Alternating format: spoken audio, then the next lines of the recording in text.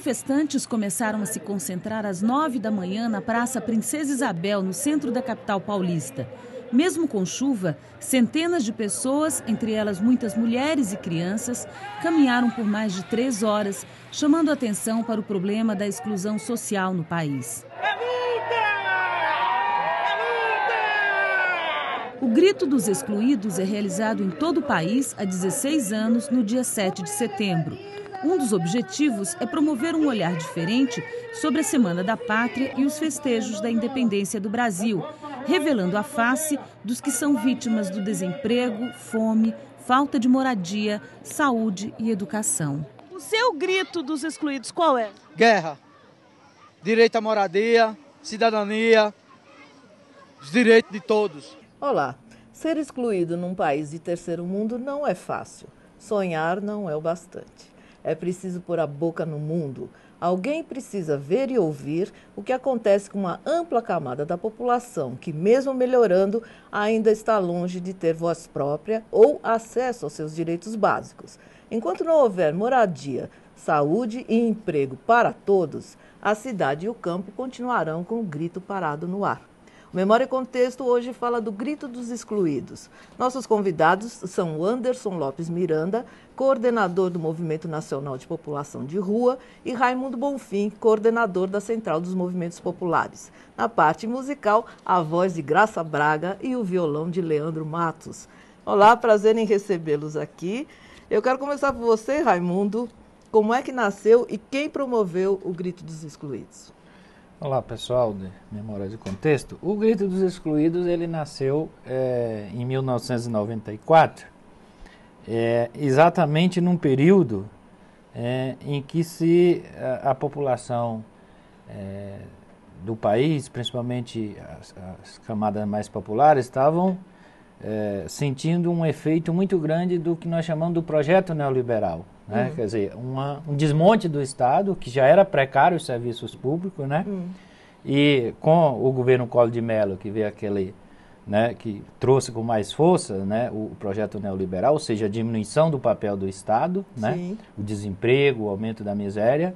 E eh, em 1994, né, sentindo é, não só que nós tínhamos dificuldade, nós dos movimentos sociais tínhamos dificuldade de avançar no sentido de alcançar mais direitos e políticas públicas, nós estávamos regredindo. Sim. Então, um conjunto de entidades naquele ano, né, portanto, há 18 anos é, que nós realizamos o Grito dos Excluídos, este ano foi a 18ª edição, então o MST, Movimentos Trabalhadores Sem Terra, a Central de Movimentos Populares, hum. as Pastorais Sociais da CNBB, a Central Única dos Trabalhadores e diversas outras entidades, né?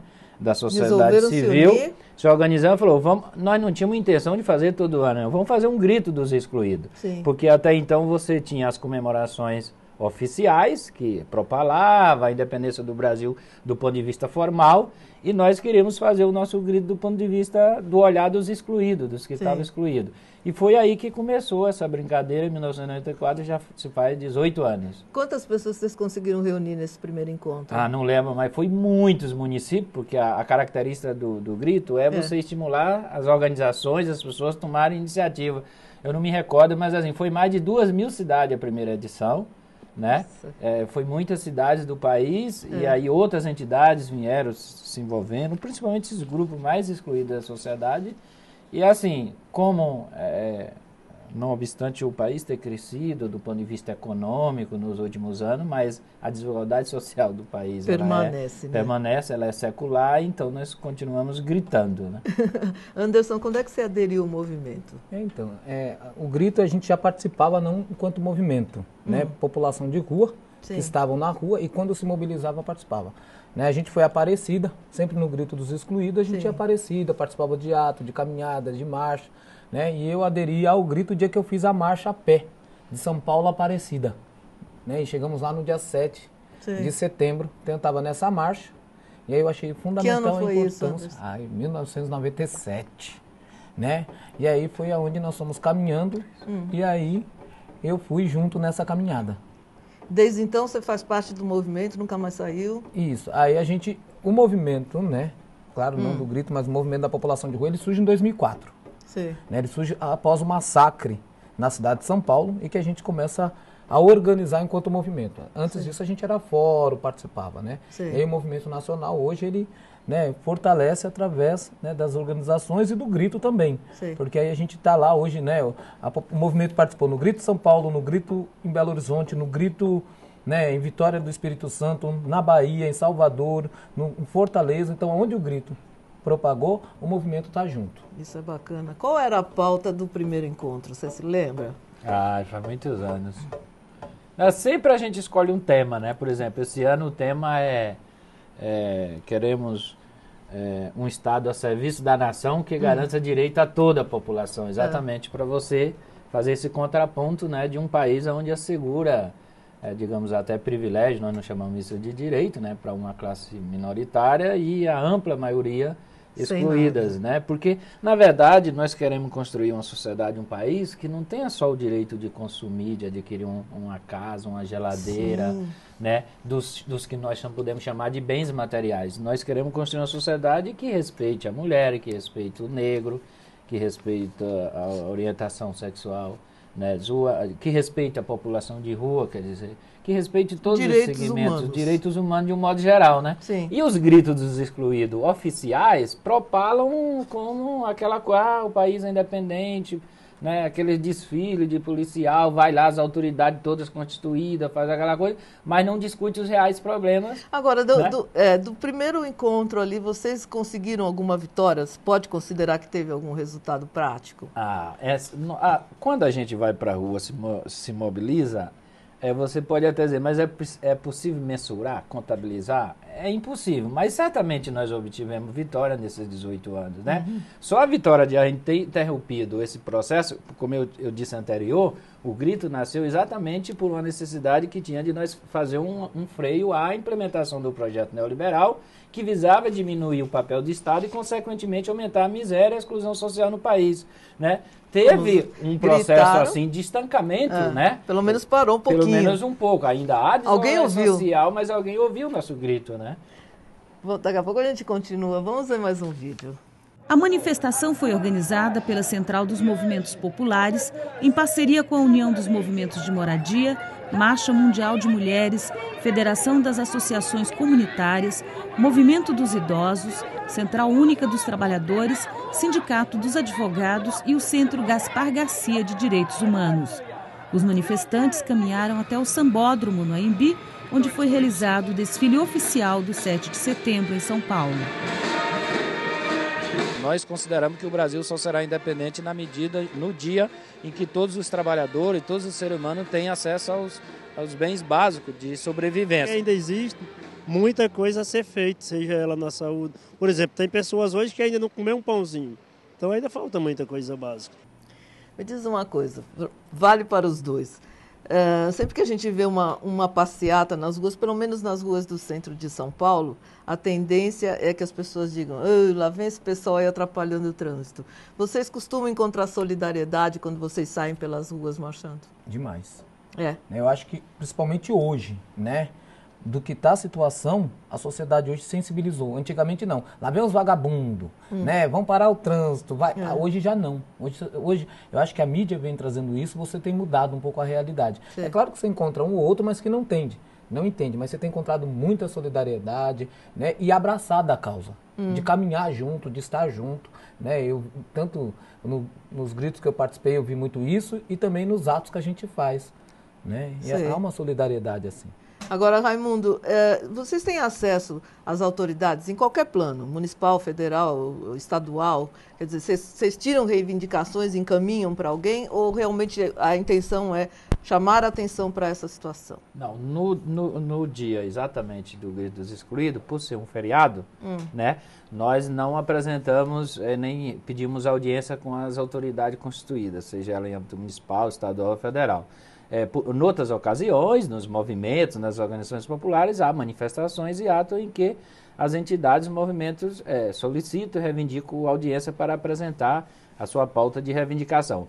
Mas no, eh, no dia do grito, na verdade, é distribuída uma carta aberta que denuncia né, a desigualdade hum. social, a exclusão e aponta aquilo que nós queremos, quer dizer, uma sociedade onde é, todos tenham garantido os seus direitos. Então, Agora, então, onde é que está o movimento? Ele está no Brasil, está espalhado no Brasil, no Brasil inteiro? Espalhado no Brasil. Quer dizer, é um movimento, assim, ele não tem uma centralidade, ele tem uma coordenação nacional, que é composta por várias entidades, essas principais que eu já falei, CMP, uhum. CUT, Pastorais Sociais, é, MST, enfim, um conjunto de entidades que é, é, tem uma coordenação, escolhe um tema principal todo uhum. ano, elabora um, um cartaz, um, um, um, documento de forma geral e espalha. Então, por exemplo, uma pessoa que está, um presidente de uma associação de moradores que nos está nos assistindo e ouvindo, ele pode se organizar e preparar um grito no seu bairro, na sua rua, assim, é uma é coisa... um movimento livre. É um movimento livre que não tem é, é, é centralidade, né? E isso que você falou, quer dizer, essa questão da solidariedade, às vezes, inclusive, nós recebemos chuva de papel picado quando a gente passa perto de prédios, né? Sim. Você vê a solidariedade, é lógico, você vê realmente, você a, gente faz um grito de forma não é, piorar ainda o trânsito, que já é Sim. é caótico nas nossas grandes cidades, é. a gente tem o cuidado, né, de de não atrapalhar, mas é, às vezes eu individualismo. Por exemplo, uma vez eu estava na Avenida Paulista, até não era nem grito dos excluídos, era numa outra manifestação, e uma, uma senhora de idade começou a xingar, né, de hum. forma muito agressiva, assim, eu estava ajudando na organização ali para não atrapalhar o trânsito, ela começou a me xingar. Era uma senhora de uns 65 anos. Eu falei, a senhora, tá, por que, que a senhora está assim? Ela falou, não, porque vocês ficam aí se manifestando, não precisa das coisas. Eu falei, a senhora sabe que para a senhora se aposentar, muitos pessoas eh, há 100, 150 anos atrás deram a vida, porque não tinham direito à aposentadoria que é um direito que foi conquistado com luta, com a organização. Quer dizer, ela mesma é beneficiada da luta, mas estava se colocando contra a luta. Quer dizer, não é? Não, mas às vezes é falta de informação. Não é verdade? Por isso que a gente faz esse debate aqui. Agora eu vou colocar a música aqui da nossa conversa. Muito prazer em recebê-los aqui. Graça Braga, Leandro Matos. Prazer é nosso. Vocês têm uns disquinhos aqui. Quantos CDs vocês têm? Me conte. Olha, eu trouxe aqui o mais, o mais recente, né?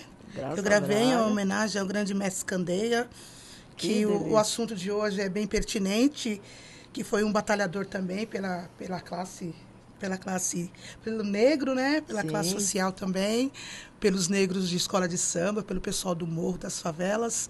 Ele foi um batalhador também por isso e hoje, então acho que veio a calhar, foi assim proposital o assunto com a com a minha homenagem que eu fiz ao mestre Candeia.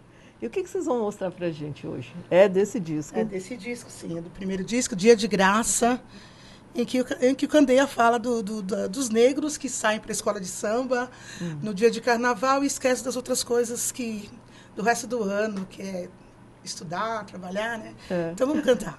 Vamos lá.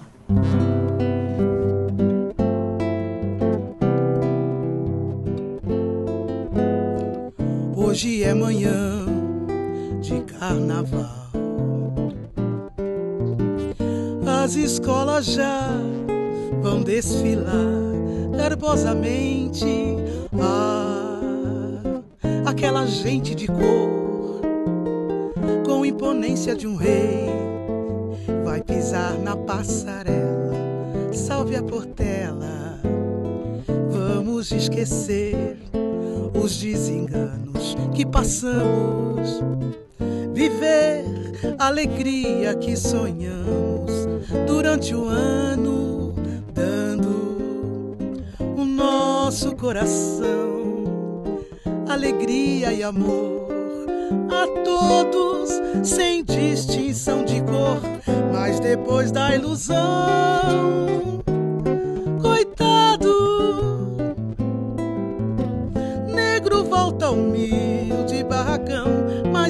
da ilusão, mas depois da ilusão. Coitado, negro volta humilde barracão. Negro, acorda, é hora de acordar. Não negue a raça, dorme toda manhã, dia de graça. Negro não humilhe a ninguém. Todas as raças já foram escravas também.